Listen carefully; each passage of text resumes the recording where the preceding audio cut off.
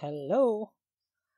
In this video, we will be discussing an application of stars and bars, and in particular, we will be solving for the number of solutions to the integer equation with parity restrictions. When we say parity restrictions, we mean the oddness or evenness of the values involved. If you haven't watched it, I highly suggest that you first watch our previous video on the introduction to stars and bars, where we introduce how we get the number of solutions to integer equations in the form x sub 1 plus x sub 2 until x sub n is equal to r, the answer of which involves some combinations. In this video, we will be solving this problem. How many ordered tuples of positive integers v, w, x, y, and z are there such that v plus w plus x plus y plus z is equal to 26 and 4 of them are odd. This problem is lifted from the All-Star Math Quiz hosted by Reggies Math Corner. Reggies Math Corner is a Facebook page which, which hosts math quizzes online and hosts as well some tutorials. So if you're looking for uh, some great math content, I highly recommend that you follow their page. Going back to the problem, we cannot use stars and bars for this problem uh, straightforwardly because we do not meet the condition of getting the non-negative integer solutions. In fact, we're looking for only positive integer solutions and four of the solutions to be odd. So for this problem, we will use some techniques.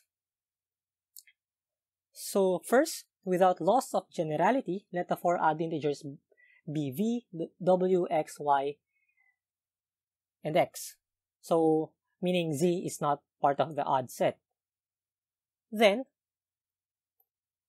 we use a substitution v is equal to 2v prime plus 1, w is equal to 2w prime plus 1, and so on. Using this substitution, we are essentially forcing all of the variables v to y to be odd integers. And also, by letting uh, this substitution, v prime and until y prime are allowed to be 0 which is good because it now fits the definition or the condition for stars and bars.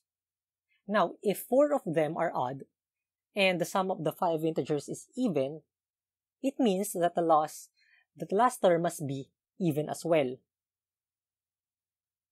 Meaning, if the missing uh, element is z, then z is equal to then z is equal to an odd number and we let z is equal to 2z prime plus 2, which is almost similar to what we used for the initial substitution.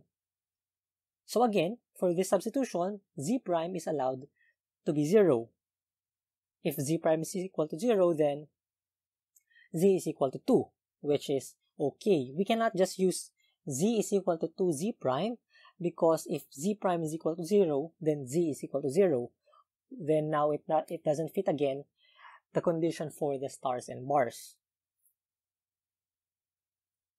Thus, we have the equation 2v prime plus 1 plus 2w prime plus 1 and so on until 2z prime plus 2 is equal to 26. So what's left is to simplify this equation. So we have 2 times the quantity of v prime plus w prime plus x prime plus y prime plus z prime is equal to 20. 20 being 26 minus 1 minus 1 minus 1 minus 2, which are the uh, addends in the left-hand side of the equation. Dividing both sides by 2, we get v prime plus w prime plus x prime until z prime is equal to 10.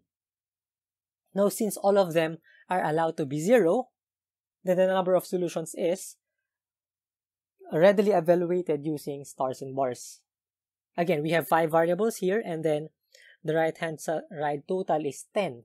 Therefore, the number of solutions is, is 10 plus 5 minus 1 taken 5 minus 1, which is simply 14 taken 4.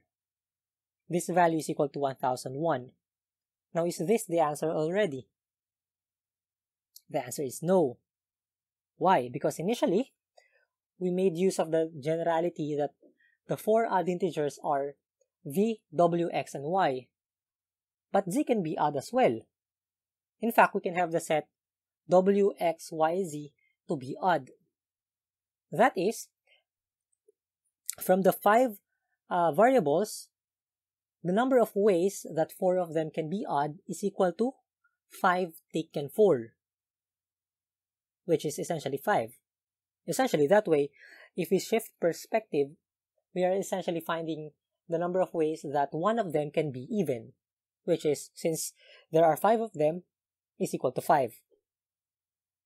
Therefore, the total number of solutions is 5 taken 4 times 14 taken 4 is equal to 5005. The factor of 5 taken 4 is important for this one because this accounts for the total number of cases, which we try to generalize in the first part of the solution when we assume that the four odd integers to be w, v, x, and y, when in fact they can be any of the 5 taken 4 uh, combinations. So in other in other problems, this uh, technique also helps. So in the first part of the solution, you can just try to generalize first which of the variables to be odd or even, and then just put on the multiplier at the end of the solution. As a practice, try to answer this problem. How many non-negative solutions are there to the equation x plus 2y plus z is equal to 24? If you are able to solve this problem, leave your comment below and I'll give you a shout out if you are able to do so. So that's it for this video and I hope you learned something. And in the future, we will be releasing more videos about stars and bars. And if you have some request problems, you can let us know by sending the comments below.